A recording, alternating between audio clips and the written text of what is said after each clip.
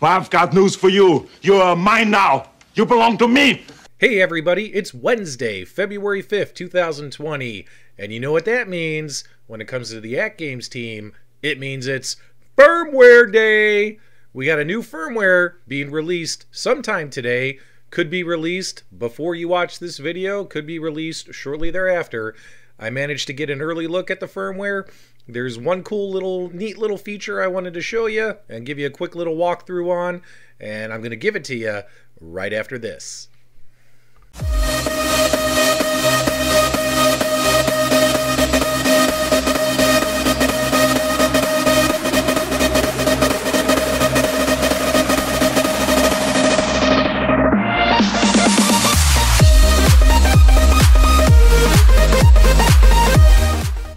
Okay guys, we're going to make this one fast and quick for you, as fast as we possibly can. So on this particular update, you have the typical system stability improvements, the behind the scenes stuff. We really don't get a lot of details on those performance and user interface uh, updates that they do behind the scenes. Uh, it's pretty much included with every firmware update. They tweak a few things in the background to help the machine run more efficiently. Um, They've also given us the ability on this update to where now, when you're creating your add on games, uh, to put on a flash drive on the USB file. Uh, you can now use special characters when you're naming games before you couldn't use the ampersand, uh, the underscore, the apostrophes, dashes. You couldn't put those in the game titles using the add on tool, and now you can. Uh, so, and it'll read it just fine. So that's another minor fix improvement. The really one uh, notable highlight on this particular update is you now have the ability where if you have your AtGames Legends Ultimate turned on and you're scrolling through the menus, you can now set some menu background music to play um, as you're scrolling through your games, picking which one you want to play. So it's kind of cool uh, to have a little something playing in the background, and I'm going to walk you through how to get that set up right now. Okay, guys, so uh, taking a look here at the particular update notes. So there's the uh, the two minor things that I mentioned right there. And uh, what we're going to do here is we're going to start on the computer before we make our way over to the Legends Ultimate Cabinet. So it tells us that what we can do is we can now change the menu's background music. Uh, on your USB drive, you just need to create a folder uh, with this label, the HA8800 underscore background, and stick your MP3 file inside of there and plug it into your Legends Ultimate. So it sounds like it's going to be a pretty simple process. I, of course, as always, have my test thumb drive uh, plugged in.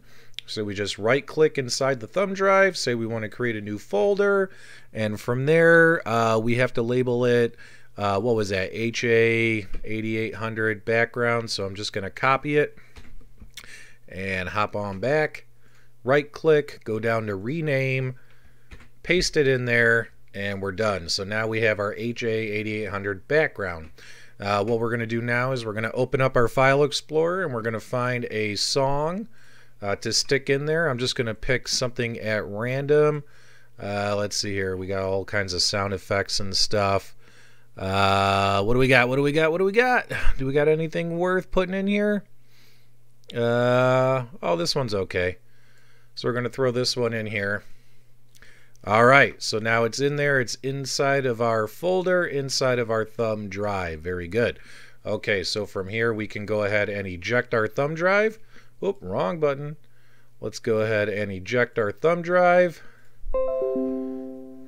And let's stick it in the Legends Ultimate and see what happens. All right, all right, all right. We are on our Legends Ultimate. Let's head on over to the settings. And as you can see in the bottom right corner, uh, let's go ahead and just click on it here.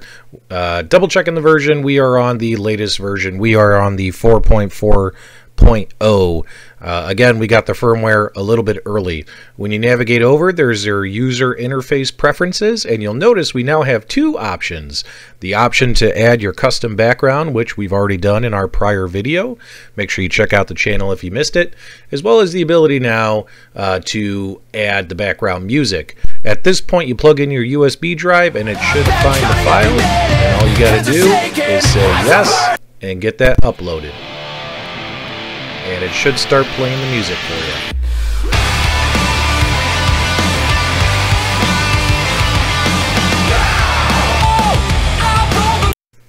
And you'll notice when you enter a game, guys, the music stops. Uh, this, of course, was just a test. Just hopped into tic-tac-toe real quick, and that background music did shut off. We're going to quit the game, and I bet it starts playing.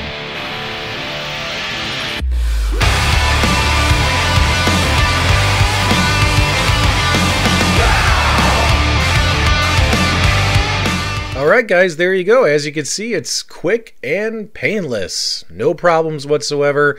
You can hop back into the user interface settings um, tile and you can toggle your background image on or off. You can toggle the music on or off as well. And of course, once it's there, once you plug it in and it downloads onto the local system, you do not need to leave that file on that flash drive or that flash drive plugged into the machine.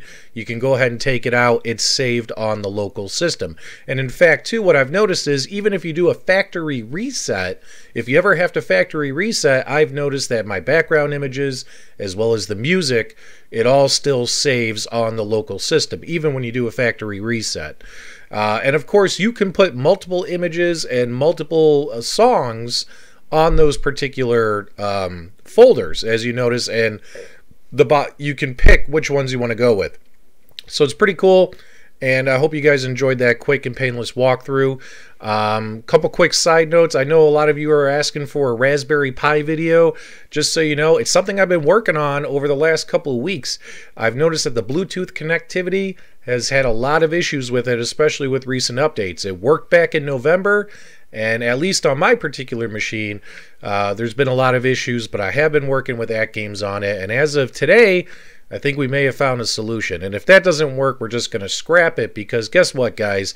As cool as Raspberry Pis are, there's also even better ways to add and play and bring your own games onto this machine.